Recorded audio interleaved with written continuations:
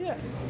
Hello, uh, my name is Andre Armani and I want to personally thank you for visiting the store today and let you know how much we appreciate the opportunity to run your business and personally let you know that if there is anything at all that I can assist you with your purchase or with your service or for that matter anything at all from this dealership, feel free to contact me. The information is below and once again, thank you so very much for giving us opportunity to run your business.